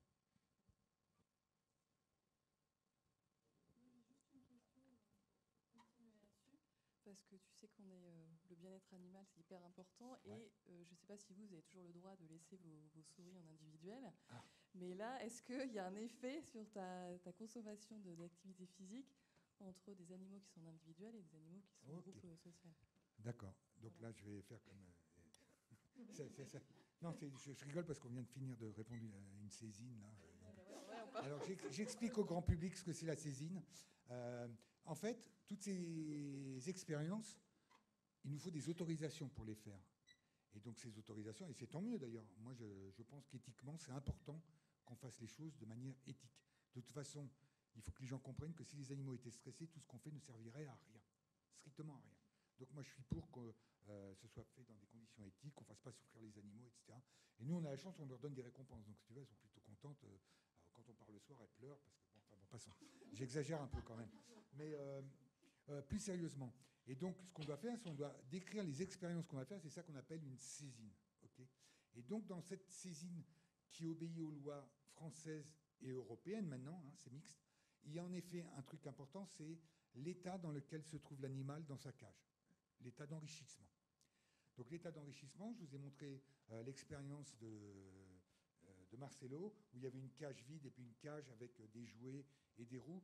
Euh, ça y est, maintenant, on est entre les deux. C'est-à-dire que n'a plus tellement le droit d'avoir juste des cages comme ça. Vous, devez avoir assez pour que l'animal puisse faire un nid en coton, etc. Euh, on n'en est pas encore au stade où ils ont des roues, etc. Mais moi, je suis persuadé que ça viendra dans quelques années. J'en suis persuadé. Et euh, pourquoi pas Ça va compliquer les choses, mais, pourquoi pas Alors maintenant, pour répondre plus directement à ta question, les animaux, pour deux raisons, sont isolés. Ils sont isolés parce que ces mutants que je t'ai montrés sont hyper agressifs. Et quand ils sont ensemble, ils se battent, mais c'est un truc de fou. Quoi. Et moi, pour des raisons éthiques, je ne peux pas me permettre qu'ils battent. Parce que quand vous avez une souris qui se fait mordre par les autres, vous ne pouvez pas laisser ça comme ça. D'abord, je perds une souris. Et puis surtout, pour le bien-être animal, je ne peux pas me permettre qu'elle. Bon, nous, en général, quand il arrive un truc comme ça, elle reçoit les anti-inflammatoires, etc. Bon, elle, sort de l'expérience, mais elle reçoit les anti-inflammatoires. Elle est suivie pendant une semaine. Enfin bon, on a le veto pour ça, c'est parfait. Donc nous, ce qu'on fait, c'est on isole les animaux, donc Maintenant, comme on veut publier, quand même, on a bien sûr pensé à, ta question. Donc ce qu'on a fait, c'est un truc très rigolo. Euh, ce qu'on a fait, c'est on s'est dit, bah, qu'est-ce qui se passe si on les met par deux dans la chambre opérante?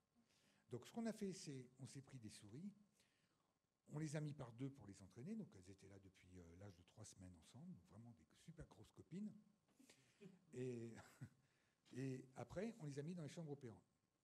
Et on s'est dit, ce qu'on va faire, c'est ben, on va noter les scores, etc. Et puis là, en regardant les souris, on s'est dit quand même, c'est un bon modèle de l'homme. Pourquoi? Parce qu'on s'est aperçu que souvent, ce qui se passe, c'est qu'il y en a une qui fait les no-smoke et c'est l'autre qui court. C'est-à-dire, et pareil pour la bouffe. C'était à côté, vraiment dans le système, la modélisation de l'humain, c'est du capitalisme humain. C'est-à-dire que le gars, il travaille 30 fois, et pendant ce temps, l'autre, il, il ramasse. C'est extraordinaire. Donc, et même certaines fois, et ça, je ne pensais pas que c'était possible, et malheureusement, on n'a pas pu prendre le film parce que ça, ça dure. J'ai ouvert la chambre opérante une fois, il y a une souris, elle a fait un ospo, l'autre est allé dedans, et l'autre l'a suivi, elles étaient à deux dans le truc. Tu vois, c'est un truc de fou, quoi. Donc, ce qu'on a fait, c'est on s'est dit, on ne peut pas caractériser individuellement. Donc, ce qu'on a fait, c'est, on a dit, OK, on va prendre la moyenne des scores, puisqu'ils sont deux, on va diviser par deux. Mais ce qu'on va faire après, c'est on va les isoler. Et en fait, ce qu'on a vu, c'est quand elles étaient par deux et qu'après elles passaient à toutes seules, on n'avait aucune modification. Mais euh, c'est un, truc qui est super, oui, oui, tout à fait, super important, super important. Moi, j'avais une question justement sur, la modèle, sur les modèles de la, de la souris par rapport à, à l'homme, mais aussi par rapport à d'autres animaux. Parce qu'à la maison, j'ai un chat. Ah, moi aussi. Et je trouve que les chats sont, sont assez feignants.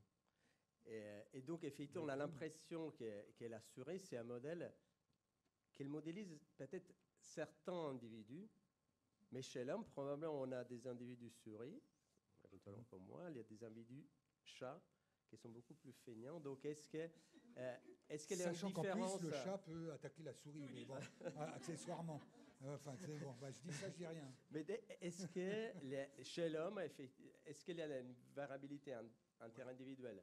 Chez les souris que vous voyez Est-ce que ça représente une, quand même, euh, c'est une surreprésentation d'une population qui est à la base plus active que les autres? Alors, en fait, euh, quand on prend, oui, euh, par exemple, on a, si tu prends des souris CD1, ce qui sont des souris blanches, super marrantes, elles ne pensent qu'à manger et en même temps, elles ne pensent qu'à courir.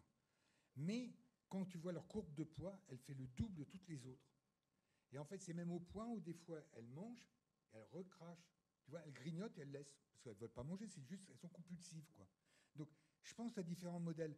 Maintenant, à la base, je pense que ton modèle souris et chat chez l'homme, c'est une dérive de notre société. Parce que je ne pense pas qu'à l'époque préhistorique, des gros, il devait y en avoir beaucoup. Tu es d'accord? Et c'est le modèle de Piazza, endos, euh, tu vois, endostase, exostase. C'est-à-dire que nous, dans notre société moderne, maintenant, on s'est permis de faire des efforts qui, en plus, coûtent de moins en moins cher, malheureusement, pour avoir du surplus en sucre, en gras, etc., dont on n'a pas besoin. Ok? Chez la souris, tu n'as pas ça. Chez la souris, ma diète qu'on me propose, c'est une diète standard. Si maintenant, comme chez Daniel Acotal, la boîte à côté d'une autre, tu leur donnes une nourriture riche en gras et en sucre, boum, ça y est, tu les vois, elles grossissent comme ça, puis elles font plus d'activité physique. Tu vois? Tu peux, tu peux euh, artificiellement avoir le chat ou la souris. Ça, y a, euh, je, suis, je, tout à fait d'accord. Maintenant, euh, peut-être que dans la nature, je peux me tromper, le chat a peut-être moins de prédateurs que peut avoir la souris. Donc forcément, le moment où la souris va être à la recherche de sa nourriture à l'extérieur est un moment beaucoup plus important. Il ne peut pas se permettre de se louper. S'il se loupe, il se fait bouffer par d'autres. Nous, on a un modèle qui est vachement intéressant au labo, euh, et que d'autres labos ont. Euh, c'est un modèle dans lequel tu as une souris, elle est dans une espèce de, petit enclos, ok Carré comme ça, puis tu as, une, petite cabane au bout, ok Et ce qu'on fait, c'est avec une ombre, on fait passer une ombre comme ça, comme si c'était un oiseau.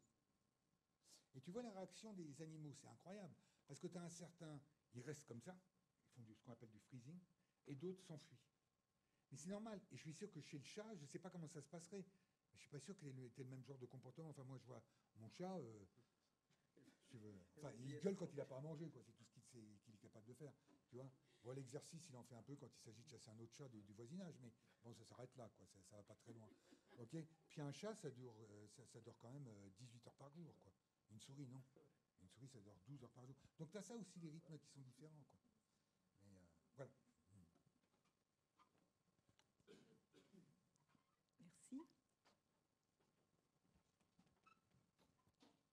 Bonsoir. Euh, vous avez conclu euh, à la fin que, en fonction du neurotransmetteur, le, CB1, euh, si la souris n'en avait pas, elle était beaucoup plus feignante, moins motivée pour l'activité physique. J'ai pas dit feignante, j'ai dit moins motivée. Moins motivée. Est-ce que ça veut dire qu'une personne qui, depuis son jeune âge, n'est pas du tout motivée par l'activité physique, adolescente, après, on va dire, à l'âge adulte, c'est parce que c'est plutôt génétique et le lien qu'il peut y avoir entre le génétique et le culturel. Bon, alors ça, c'est les questions comme on n'aime pas en avoir. Pourtant, je ne suis pas étudiant. je ne travaille pas en labo. Euh, écoutez, je pense qu'il est trop tard, on va arrêter là. Non, je plaisante. Euh, alors, bon, je vais, je vais avoir une réponse un peu complexe, mais je vais essayer de partir de la souris d'abord. En fait, ce que je vous ai montré, c'est étonnant. C'est cette souris qui n'a pas ce récepteur, la CB1, ce qu'on peut aussi génétiquement, c'est Bon, donc génétiquement, on peut l'enlever de l'organisme. OK, ça, on a les moyens. Ce qu'on peut faire, et je l'ai peut-être dit ou je sais plus, euh, on peut aussi l'envoyer l'enlever de certaines parties du cerveau ou surtout de certains neurones. Vous avez peut-être vous avez entendu parler de neurones euh, excitateurs, inhibiteurs, glutamatergiques, euh, GABAergiques, etc. Pas vraiment rentrer dans le détail, mais on a différentes classes de ces cellules nerveuses. Et nous, on peut enlever ce récepteur d'une classe bien précise. OK. Donc là, dans ce cas-là, ce qu'on a montré, c'est que ce qu'on voyait quand on enlevait le récepteur CB1 de tout l'organisme, on le retrouvait quand on enlevait ce récepteur d'une classe de cellules. En l'occurrence, c'est des cellules GABA, cellules inhibitrices, mais passons. Ce qu'on peut faire aussi génétiquement, c'est prendre une souris qui n'a plus du tout de ce récepteur CB1 et le réimplanter là où on veut. Et nous, ce qu'on a fait, c'est on l'a juste réimplanté dans les neurones, dans les cellules qui nous intéressent. Le truc incroyable, c'est que la souris, redevient motivée. C'est-à-dire qu'il suffit, a, comme on dit, un rôle nécessaire et suffisant pour la motivation à l'activité physique. Donc ça, ça pourrait tendre à ce que je vous réponde, c'est génétique. Maintenant, attention, euh, le problème, c'est que ça serait vrai, euh, le parallèle avec l'homme, si chez l'homme, j'avais aussi des gens qui n'avaient pas ce récepteur CB1. Alors chez l'homme, tout le monde a un récepteur CB1, mais il y a des mutations de ce récepteur. Ce que l'on ne sait pas, c'est si ce récepteur qui est muté chez l'homme, alors je vais faire simple, est-ce que quand il est muté, il n'a plus sa fonction? Ça, on ne sait pas. S'il n'a plus sa fonction, moi je suis gagnant parce que je me dis, tiens, j'ai un modèle pour l'homme qui a cette mutation. Maintenant, s'il ne perd pas sa fonction, bah, peut-être que ma protéine, enfin mon récepteur CB1, bah, mon modèle, il est valable que chez la souris. Ça, c'est possible. Maintenant, pour revenir à l'homme, je pense que des circuits de motivation, là, je vous ai montré, il y a la dopamine, mais la dopamine va aller innerver différentes régions cérébrales. Donc, en fait, vous avez plusieurs éléments qui peuvent contribuer à cette motivation. Donc, il suffit peut-être de toucher à l'une des pièces du puzzle, du puzzle plutôt, euh, pour qu'on diminue cette, euh, cette motivation. Donc là, en effet, elle pourrait être d'origine génétique. Maintenant, je pense qu'elle est aussi d'origine culturelle. Parce que je ne suis pas sûr que les gamins. Enfin, moi, je me rappelle quand j'étais gamin, j'adorais aller au foot, quoi. Et on m'aurait proposé un jeu vidéo, ben, j'aurais dit non, ça ne m'intéresse pas. ok? Mais là, on est peut-être dans une société où finalement, c'est plus convivial et même peut-être plus social de jouer à la Game Boy que d'aller faire du sport. Donc je pense que c'est un mélange des deux, quoi. C'est un mélange des deux. Et puis finalement, euh, si on réfléchit, euh, c'est quoi l'exemple qu'on donne avec le sport euh, D'un cas, dans un cas, vous prenez le cyclisme, ah oui, ils sont tous dopés. Ah ouais, d'accord. Dans l'autre cas, vous prenez des footballeurs qui gagnent 150 fois ce que gagne le PDG d'une grande boîte. Je ne sais pas si ça aide à, motiver les gens pour faire du sport. Vous voyez ce que je veux dire? Je pense que c'est un ensemble. Et de toute façon, et ça c'est une règle générale pour tous les comportements que l'on a, toutes les fonctions que l'on a, et ça va jusqu'aux pathologies que l'on a, c'est un mélange de la génétique et de l'environnement qui nous entoure. C'est pour ça que quand vous entendez des gens à un moment, euh, des gens prôner le tout génétique en disant, euh, on en était même au point où on disait, l'imbécilité chez l'homme est génétique. C'est complètement débile. Les imbéciles sont les gens qui disaient ces choses-là. Bon. C'est un patrimoine génétique et un environnement. Dans certains environnements, vous avez plus de chances d'être plus ou moins imbécile en fonction de votre environnement, de votre histoire, de relation avec les parents. Enfin, c'est tellement complexe. Et heureusement, sinon, euh, ça serait triste. Quoi. Notre vie serait déjà euh, prévue à l'avance. Donc, vous voyez, je ne peux pas vraiment répondre. Je dirais c'est un mélange des deux. Mais à travers votre question, euh, ça minimise ce que je fais chez la souris et ça, ça m'ennuie.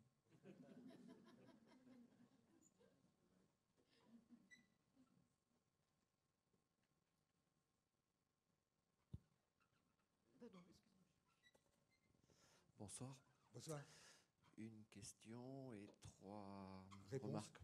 Ah. Euh, motivation, souris motivée, motivation, l'étymologie, c'est euh, se mettre en mouvement. Oui, tout à fait. Mauvais. Euh, J'étais un peu gêné par le mot prix. Ma question, c'est est-ce que, parce que je trouvais que ça faisait un petit peu connotation économique, qui, qui domine le, notre façon de voir globalement dans les sociétés. Mais est-ce que je pourrais remplacer, pour mieux comprendre, le mot prix par euh, degré d'effort à faire? Je pense que c'est. En fait, oui, ok. Et après, de. Mais, je vais déjà répondre à la première parce que. Euh, peut-être pas forcément me rappeler pour être honnête. Bon, plus, plus sérieusement. Je suis d'accord pour euh, effort. C'est ce qu'on disait toujours, d'ailleurs, quand vous prenez euh, les publications, on parle d'effort, etc. Mais finalement, est-ce que l'effort, ce n'est pas un prix? euh, Quand on réfléchit, je crois que c'est Canguilhem qui disait, non, je ne sais pas si c'est Canguilhem, quelqu'un d'autre disait, quand on réfléchit, notre vie n'est faite que de recherche de récompense. Mais c'est vrai. Elle n'est faite que de recherche de récompense. Tout ce qu'on fait dans notre vie, c'est de la récompense ou c'est pour éviter de la punition. Mais on donne un prix à ça. Ce prix peut être physique grâce à un effort, il peut être financier. Vous voyez ce que je veux dire? Et donc, c'est vraiment, si j'ai employé le mot prix, c'est vraiment pour faire ce parallèle avec cette, euh, euh, discipline maintenant qui est en train de, monter vraiment de, façon exponentielle, qui est la neuroéconomie. Maintenant, les gens raisonnent en termes de prix. Moi, je, je suis, sur le fond, je suis d'accord avec vous. Mais sur la forme, malheureusement, maintenant, tout le monde réfléchit en termes de prix. On parle même du prix d'un homme, quoi. Vous vous rendez compte? Je ne vous ai pas convaincu, mais euh, je ne cherche pas forcément à vous convaincre, mais tout a un prix. Tout, ce que vous faites dans la vie a un prix. Ce coût, vous, vous l'associez à un coût financier, mais ça peut être un prix physiologique, ça peut être un prix mental. C'est un prix. Quand je dis prix, c'est quelque chose que je dois verser d'une manière ou d'une autre pour m'approprier cette récompense. Et je le fais à travers un effort. Bon, on, joue sur les mots, mais... Je trouve qu'utiliser le mot prix renforce une vision essentiellement dominée par euh, l'économique. Et on voit ce que donne hein. je suis... le poids de l'économique dans l'état de la planète actuellement. Ah mais, mais alors, je, vois qu'on est absolument d'accord. Ah non, non, ça on est complètement d'accord. Euh, vous titriez sur l'activité physique, et je me suis dit, mais euh, même si c'est les Jeux Olympiques en perspective, il n'y a pas que le sport comme activité physique. Mmh. Il y a la créativité. Une sculpteuse ou un menuisier fait une activité physique. Tout à fait, mais il ne fait pas d'exercice Il, il peut être content quand il finit sa journée de ce qu'il a fait. Absolument, mais c'est la distinction que j'ai faite entre activité physique et, exercice physique. Oui, et puis ça peut être une activité productive, style euh, jardiner où là, on combine l'activité physique et la procuration d'une alimentation sans passer par un magasin. Euh, je peux même rajouter un plaisir, puisqu'il se trouve que moi aussi je jardine, ça. et c'est aussi un plaisir, mm, mm. indépendamment de, du fruit de la récolte, si récolte il y a, mais c'est aussi un plaisir. Mm. Mais c'est une activité physique. Et vous disiez que tout le monde pense en termes financiers, je ne suis pas sûr que ce soit tout le monde, parce que certaines personnes mettent d'abord comme critère leur conscience. Et qu'il y a peut-être des personnes qui sont venues ici à pied ou à vélo musculaire et pas assistance nucléaire, par choix, par rapport à... Bah, ils avaient un peu de temps et puis pas trop envie de contribuer à des règlements climatiques. Absolument. Mais sauf que moi, ce que, ce que, je, dis, ce que je dis là, c'est par rapport à la majorité des comportements que l'on observe. Euh, si la sédentarité. Moi, je suis toujours d'accord qu'il y ait des exceptions, et au contraire, heureusement qu'il y en a, parce que sinon, on vivrait vraiment dans une société un petit peu pourrie. Mais heureusement qu'il y a des exceptions. Néanmoins, ce qu'on constate quand même, c'est que depuis les années 50, vous avez une progression de la sédentarité et une progression des maladies qui sont associées à cette sédentarité. De toute façon, on fait tout pour associer la sédentarité. Quand les gens euh, bossent à deux heures de transport en commun de leur, euh, de leur, de leur maison, on les pousse à la sédentarité. Ils se tapent pendant deux heures du métro ou du train assis, ils bossent, ils rentrent chez eux, ils n'ont plus le temps de faire du sport. De toute façon, tout est fait pour pousser à la sédentarité, y compris le fait qu'on veut gagner de l'argent de plus en plus. Donc euh, tout pousse à la sédentarité. Enfin, ça, c'est un avis personnel. Hein.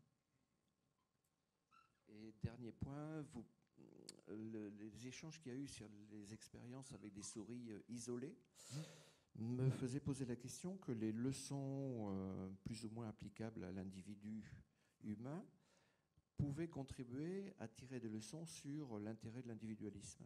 Et je ne sais pas trop comment le formuler. Non, mais, non, mais je euh, comprends. Et en fait, c'est intéressant. Alors, moi, je ne travaille pas là-dessus, mais euh, il y a beaucoup d'expériences qui sont faites, beaucoup d'expériences qui sont faites, et qui montrent, et c'est pour ça que c'est aussi une des critiques potentielles qui peuvent être apportées par ce modèle, c'est que chez ces souris-là, qui sont individuellement ah, je dirais pas élevés parce qu'elles sont élevées en, frères et sœurs et c'est à partir de l'âge de 6 semaines, donc juste on va dire à peu près à notre adolescence, qu'elles sont isolées. Euh, vous augmentez l'anxiété, vous augmentez la propension à pouvoir faire de l'addiction si vous faites des expériences euh, d'auto-administration. Bien sûr que c'est négatif. Bien sûr que c'est négatif. Est-ce que l'individualisme, c'est ça qui pousse à être plus anxieux Moi, je ne vais pas franchir le pas parce que je ne le connais pas. Moi, comme je vous le disais, je pense que c'est la somme d'une génétique et d'un environnement. Mais l'environnement, il n'est pas seulement celui que vous vivez au temps présent, il est aussi celui que vous avez vécu dans votre enfance. Vous pouvez très bien vivre avec dix frères et sœurs, mais si quand vous étiez petit, votre père il passait votre temps et son temps à vous taper, bah, ça, ça change quand même les choses. Donc, vous voyez, c'est un environnement global. Et l'individualisme, quelquefois, est aussi, et je finirai par ça, une situation volontairement choisie. L'individualisme. Ce qui est différent de la souris ou elle, moi je ne vais pas trop, je vais pas demander son avis en fait. Déjà parce qu'elle ne parle pas bien ma langue, et puis en plus, euh, euh, je ne suis pas sûr qu'elle soit d'accord. voyez? Donc, il faut se méfier. Moi, dans le mot individualisme, il y a quelque chose de volontaire. Même s'il est volontairement poussé par d'autres. Mais il est volontaire. Là, euh, vous voyez, je ne peux, pas, enfin, je peux pas trop faire de philosophie non plus. Quoi. Bon, je ne vous ai pas convaincu sur aucune des réponses. bon, ben, je ne peux pas avoir raison à tous les... Une dernière question. Pardon, pas devant. Merci à vous pour votre présentation. Ah, merci. Euh, moi, j'ai du mal à faire le lien avec euh, l'humain et notamment à, trouver les moyens pour mettre en mouvement euh, une personne qui n'a vraiment pas envie et qui n'y trouve pas du tout de plaisir, même si on lui met le museau dans un trou tout à fait. Qui, va déclencher, je pense qu'il va regarder la roue d'un air perplexe. Et ça, me fait penser à la, à la citation de Jean-Yann qui disait euh, Quand l'envie me vient de faire du sport, je m'allonge et j'attends que ça se passe. Oui, exactement. Oui, ouais, je sais. Ouais, ouais. Je, connaissais cette citation. Il y avait aussi la citation de Churchill qui fumait le cigare comme un fou et qui disait Rien de plus dangereux pour, euh, pour la vie que, pour, que le sport. Bon. Ma santé, nos sports. Voilà, exactement.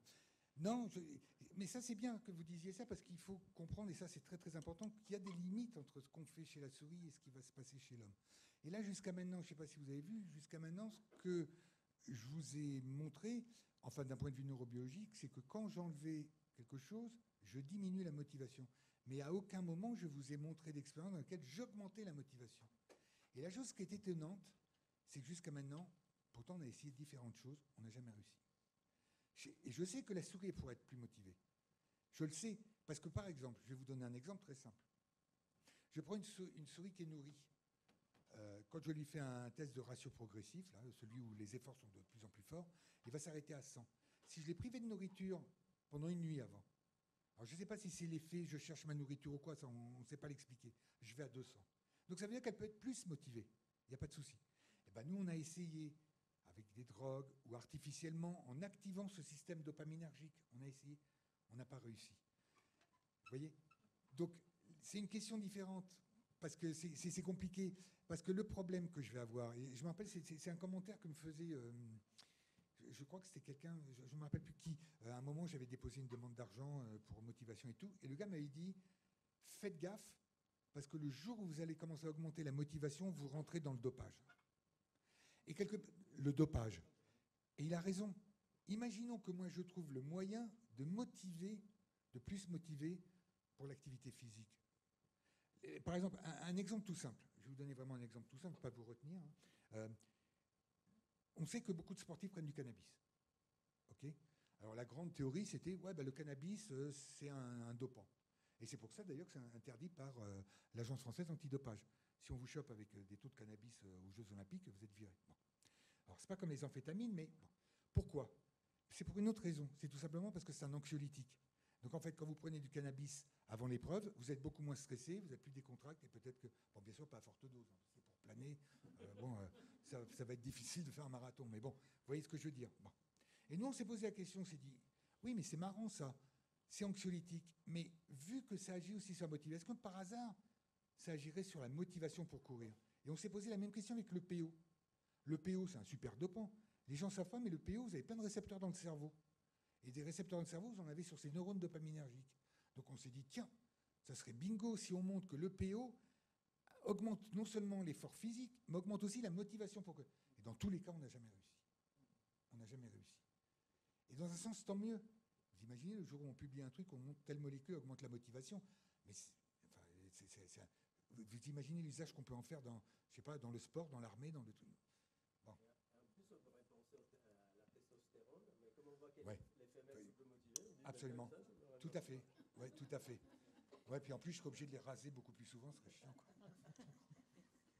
Donc, euh, selon vous et votre réponse, là, on, on, comment dire, on mesure les difficultés à mettre en mouvement un humain, euh, ce qui euh, va, comment dire, pas à l'encontre, mais qui montre les obstacles à franchir pour aboutir aux objectifs qui sont mis en place par l'État actuellement, en, en s'appuyant sur l'organisation des Jeux olympiques euh, pour euh, mettre en marche, en, mouvement la population euh, entre autres français. Non, mais justement.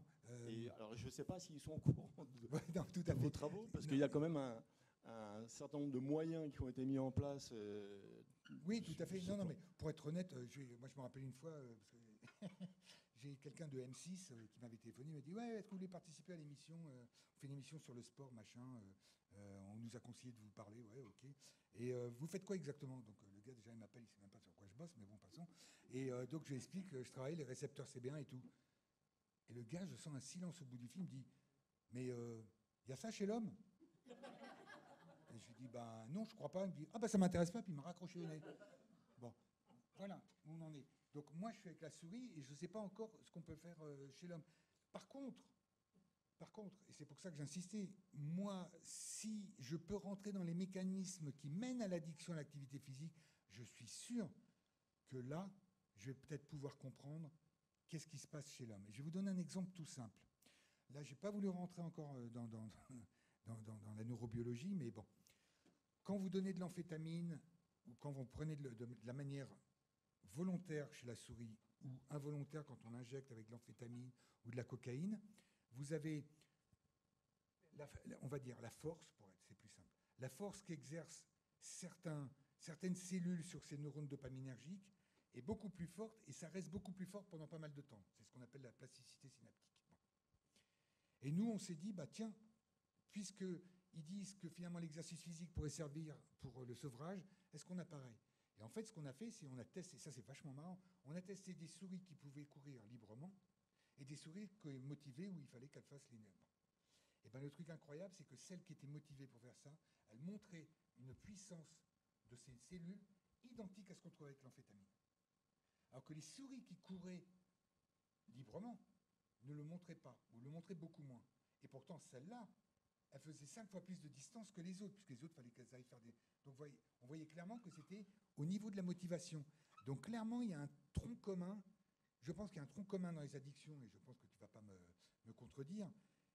Si on peut guérir certaines addictions au sport, sinon on trouve des, des, moyens de bah déjà on aura gagné. Maintenant, pousser la population générale à faire du sport, d'abord, ce n'est pas mon message parce que, je, en plus, moi j'en fais plus, donc euh, ouais, non, mais avant je faisais du judo, du foot, tout ça, mais maintenant, je laisse les autres se blesser. Et euh, donc, moi, c'est pas mon but. Moi, mon but, c'est essayer de comprendre. Et en fait, souvent pour nous, je dois reconnaître, quand on travaille chez la souris, c'est plus facile pour nous de caricaturer l'homme en prenant ces situations extrêmes. Parce que ça, on peut faire. Maintenant, la physiologie globale, et la psychologie, voilà. Bien, sûr, c'est les, deux. Mais nous, on voit, le truc qui est, fou, c'est euh, ces souris-là, que, même dès qu'on les met la première fois à faire des, efforts pour courir, mais quand on les sort, mais c'est un enfer, parce qu'elles sautent des chambres opératoires, c'est comme si on leur avait donné des amphétamines. Elles sont en état d'hyperexcitation. Mais quelque part, je pense que, comme je disais avant, on amplifie le phénomène parce qu'elles s'ennuient dans leur cage depuis leur naissance. Et puis moi, j'arrive et je leur propose un truc où elles s'amusent vous imaginez la valeur récompensante que ça peut avoir. Donc, euh, Oui, tout un chantier, oui. merci beaucoup à tous. Hein. Merci beaucoup. Bonne fin de soirée. À bientôt. Au revoir.